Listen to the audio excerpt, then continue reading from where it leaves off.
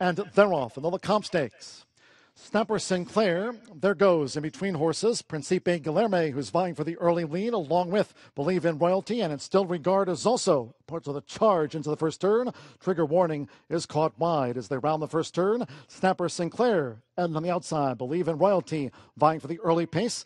And these two have kicked clear here in the early stages from Instilled Regard. Now in third, Lone Sailor in fourth, with in between horses. Analyze this jet in fifth position, and Principe Guilherme is a settled sixth at the five and a half. Then up the inside is looking to gain ground is Cowboy Karma with trigger warning running wide as they go up the back of the track.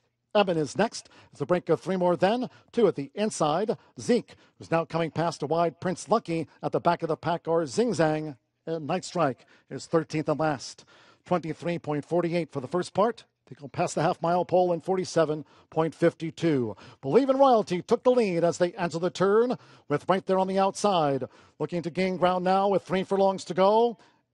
Snapper Sinclair who's up to take the lead from Believe in Royalty. Instilled Regard looms on the outside. Snapper Sinclair at the quarter pole. From Instilled Regard, Principe Guilherme. Eben is building momentum on the far outside. Lone Sailor dropping back now. Believe in Royalty. They're into the stretch. Three quarters in one minute 13.18 seconds. Instilled Regard has taken the lead with one more furlong to go. Between horses looking to stay on is Snapper Sinclair. Principe Guilherme with a grinding run on the outside, but well inside the final half furlong with Javier Castellano. It's instilled regard to win the Lecomte Stakes by three and a half lengths.